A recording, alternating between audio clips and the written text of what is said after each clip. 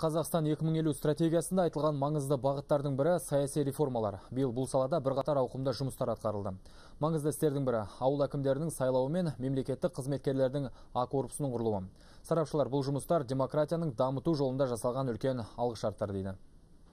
Елбасы өткен жылғы жолдауында демократияны дамытып, адам құқықтарының сақталуын қамтамасыз ету үшін жауапкершілік пен өкілеттілікті орталық пен өңірлер арасында бөлу қажеттігін айтты. Биыл бұл бағытта бірқатар жұмыстар жасалды. Оның бірі жазда елімізде алғаш рет аудандық маңыздағы қалалар және ауылдық селолық округтердің әкімдері сайланды.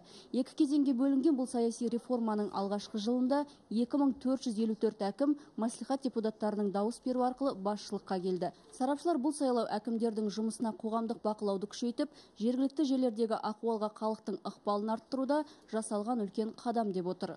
Демократияны қамтамасыз ету жолында ауыл әкімдерін сайлау үкіметті реформалау жүзеге асырылып жатыр да жаңа агенттіктер ашылып жатыр. Мінекей осының барлығы осы саяси реформаны жүзеге асыру жолындағы өзгерістер деп білемін. Қазақстан 2050 стратегиясында айтылған ауқымды шаралардың тағы бірі мемлекеттік қызметкерлердің А корпусының құрылуы.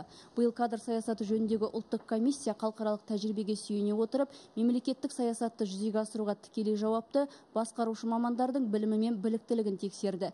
Нәтижесінде өтініш берген мыңнан астам шенеуніктің 62 пайызы кәсіби маман деп танылып, А корпусына өтті маманға сәйкес келуі одан қалды ар ұждан тазалығы дейміз ғой да. Енді сол бағыттағы қадамның бірі олардың жалақысының көбейтілуі. Менің ойымша бұл сыбайлас жемқорлықтың алдын алу шараларының бірі деп білемін да. Себебі өзінің тұрмыстық жағдайын толық қамтамасыз еткен адам менің ойымша ешқашанда сыбайлас жемқорлыққа бармайды.